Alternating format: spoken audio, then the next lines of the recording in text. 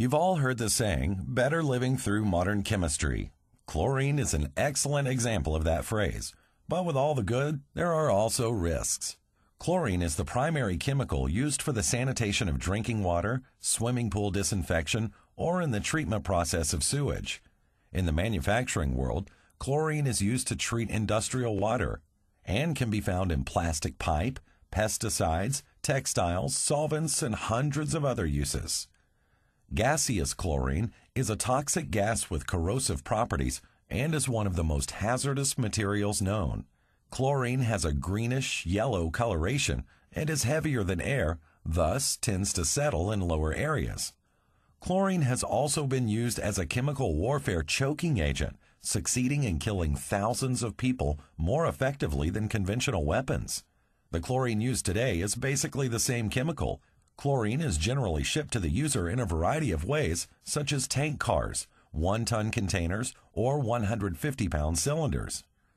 Safe handling, storing, and use of this potentially hazardous chemical becomes very important, for if handled improperly, can result in a major event, making the news, causing evacuations, or worse. Training, state of the art chlorine handling equipment, engineering controls, and high tech instrumentation helps reduce the hazard. But just how hazardous can chlorine be? The EPA reports an average of more than 1,300 chlorine releases each year, resulting in more than 300 injuries and an average of 27 deaths. This data indicates that chlorine is the chemical responsible for more deaths than just about any other product. In most cases, releases were linked directly to a disregard for safety by not following procedures and safety rules or untrained personnel performing tasks that they should not be doing. Certainly, no one starts out the day intending to cause a chlorine release, but from time to time, it's easy to take a shortcut on a job you've done a thousand times before, or maybe, just maybe, take a few liberties with the safety rules. The good news is that if you are properly trained and know and follow the safety rules, the risk of a chlorine release is minimal, but it's up to you to follow the procedures. Okay, Let's talk about some of the risks and hazards associated with chlorine and ways to avoid them. The first place to start is with training. Under no circumstances should anyone be allowed to work with chlorine in any form without full and complete training provided by the organization.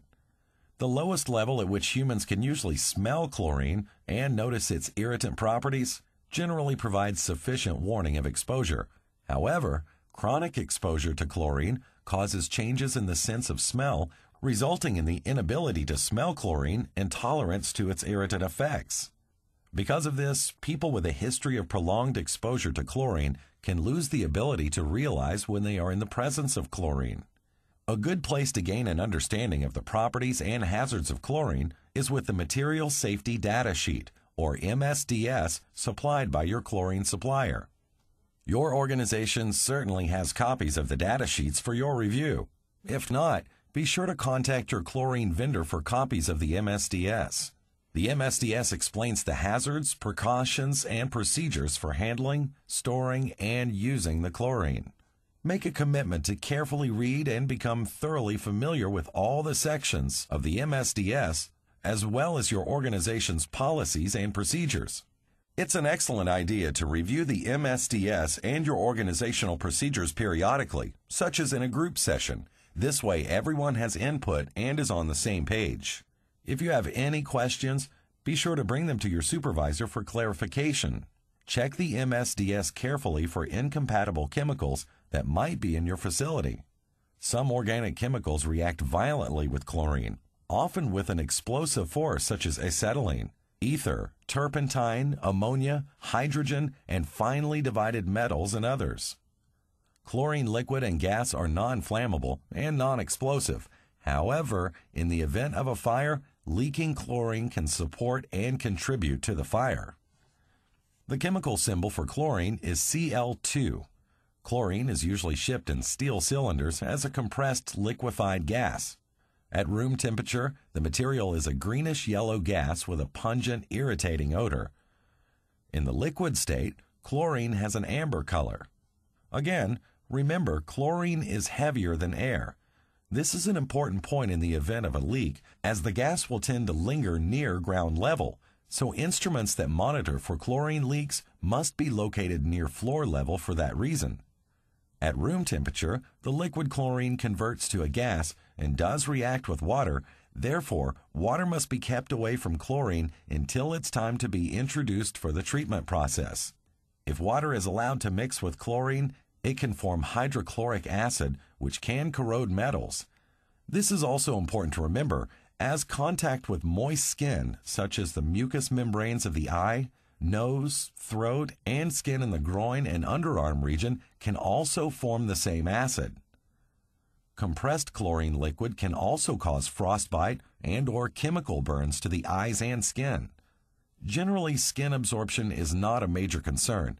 However, care should be taken to prevent direct skin contact. Should direct skin contact occur, the worker may experience mild to severe symptoms, including irritation, burning pain, inflammation, and blisters. Severe chemical burns may result in tissue damage. If exposed to chlorine, flush the affected parts for at least 15 minutes with flowing water before transporting to medical care. This is important as failure to do so will result in continual damage en route to the hospital. Inhalation is the main and most dangerous route of chlorine gas exposure. Respiratory system exposure can progress, causing severe lung damage and even death.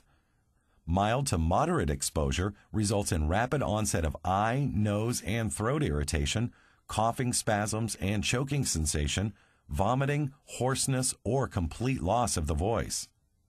Narrowing of the airway is an early and prominent effect of exposure, as the victim often describes the sensation of feeling suffocation. Signs and symptoms of accumulation of fluid in the lungs, also known as pulmonary edema, may appear within several hours of exposure. Sudden death can occur due to the narrowing of the upper airway, resulting in difficulty in breathing or shortness of breath. The majority of chlorine exposure related deaths occur within 24 hours of exposure and is generally due to respiratory system failure. It is important to know that respiratory symptoms may be immediate or delayed for several hours or days after exposure. This is why it is imperative that the victim is seen by a physician following exposure. There could be no exceptions as they could die while at home. First aid consists of removing the victim to fresh air and keeping the victim warm and quiet, remove contaminated clothing, and get to a hospital at once. Of course, CPR would be required in the event the victim stops breathing. Again, Always seek medical treatment after any exposure, no exceptions. Even a small dose of chlorine can be deadly. Since chlorine is a gas at room temperature, ingestion is an unlikely route of exposure. However, in the event that you were to accidentally swallow chlorine, you would likely receive severe burns to the mouth, throat, and stomach. This is why it's so important to never put chemicals into items such as bottles, cans, coffee cups, and such. Doing so would make it far too easy to accidentally ingest toxic chemicals. Serious burns to the eyes are also potential hazards, so it goes without saying that eye protection such as chemical rated goggles and face shields are a must. Without going into what, how much, and other frightening things about chlorine, let's just say it requires a constant effort on your part to refresh your training, prevent spills, leaks, injuries, and emergencies. Due to the very cold or cryogenic nature of chlorine, if splashed on your skin, a frostbite injury could occur. Chlorine also reacts violently with oil and grease, creating the potential of spontaneous combustion. So be sure to store oil and grease well away from chlorine. This includes grease or oil on your clothing as well. It's important to know that spilled chlorine expands very rapidly. For example, if you were to spill one tablespoon of chlorine in a room, the liquid would quickly vaporize and expand into more than 450 cubic inches of chlorine gas, making a release of gas a major concern. Containers of chlorine are generally lifted using hoists, such as overhead pendant hoists. Safety shoes are a must in this operation, as would be hard hats if the container needed to be raised above the head. If transporting containers on trucks, do so only if properly secured along with the required DOT signage. We can all agree that chlorine must always be transported with the load properly secured to prevent rolling off. If handling 150 pound cylinders, always do so secured to a dolly or cart. Never spin or roll these cylinders, for if one was to get away from you, it might fall and result in a chlorine release. Of course, be sure that the valve cap is securely in place. The same goes for one ton containers. Handle with special lifting equipment such as a pendant hoist with a lifting rail. Be sure to protect valves and fusible plugs with the protective container caps and secure the containers or cylinders with chains or straps to prevent accidental movement. When there is potential for direct exposure to chlorine, an air supplied respirator or self contained breathing apparatus with escape bottle is necessary. Of course, training in the use of this respiratory protection, as well as employee medical evaluations and fit testing, would be required. Many progressive safety minded organizations have installed chlorine scrubber systems in the event of a chlorine leak. The scrubber system is activated by the chlorine detection system, capturing and making the escaped chlorine inert. Always follow your organization's procedures when entering a chlorine area and make sure the monitoring systems, ventilation, and scrubber systems are functioning properly. Of course, use only the proper respiratory protection and other PPE when making any repairs, performing service, or fixing leaks. It's also important to have a standby person ready to assist in an emergency. When conducting tasks such as system maintenance and container changeouts, one important point to remember is to always change out the washer regardless of the condition of the old one. If using lead washers, be sure to properly dispose of any product containing lead and wash your hands when done. Again, it's important to never work alone with chlorine. Always be sure at least one emergency standby is there at all times. When working with chlorine, use only those tools and procedures approved by the Chlorine Institute. Check for leaks after the cylinder connection has been made using bombate of ammonia solution on all connections. The ammonia reacts with any escaping chlorine, creating a white cloud indicating a leak. Certainly, if you do observe a leak, follow your organization's leak repair procedures. If you cannot stop the leak immediately, notify your supervisor and follow the established emergency action procedures. Approach a leak only if thoroughly trained and when wearing appropriate respiratory and eye protection and protective clothing such as level A suits, gloves, or other necessary safety equipment. Leak repair kits such as A, B, and C kits must be readily available to handle the leak. The A kit contains the equipment and parts to repair a leak in a 150 pound cylinder. The B kit is for 1 ton cylinders, and the C kit is for tank cars. It's important to periodically inspect each kit and verify that all the equipment required for that kit is still there, as it's not unheard of for critical parts such as wrenches, gaskets, and plugs to be missing when needed. Practice enough with the equipment to ensure that you're comfortable with the leak repair procedure. Consider erecting a wind sock as a visual indicator of prevailing wind direction in the event of a leak. Wind direction is critical to know as evacuating personnel can take advantage of the wind direction to help evacuate in a safe manner. Be sure to practice emergency evacuation plans and procedures periodically to ensure that everyone, including vendors and contractors, know how to quickly and safely evacuate the facility. Training and more training is needed to be highly skilled in leak repair, and it's a great idea to drill with your local fire department or local chemical emergency team so they are also knowledgeable of your operations and techniques. Leaks typically occur at valve packings, fusible plugs, pigtails, and defective valves.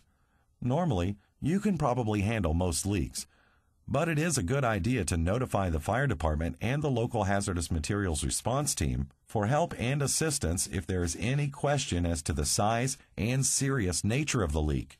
Better safe than sorry.